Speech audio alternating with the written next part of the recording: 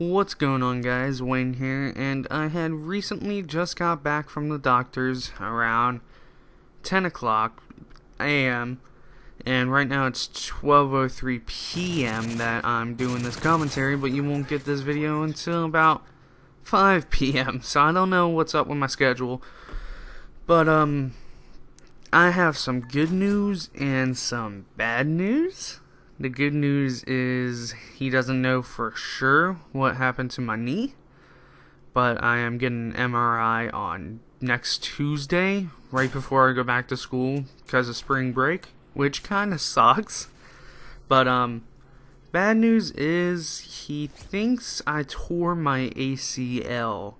Uh, if you don't know what that is, most ACL injuries require surgery, and uh, well, it requires surgery if you're like an athlete and all that, which I am. So I probably am gonna have to get surgery if it is my ACL.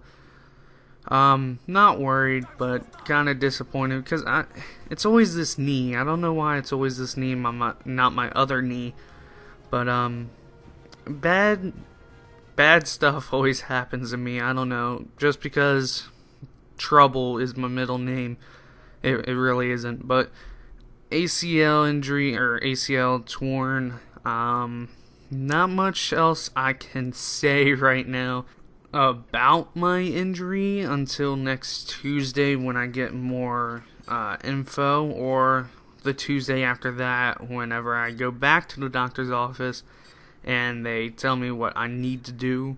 So, um, that's all I wanted to say, guys. It's a quick commentary, a quick update about everything.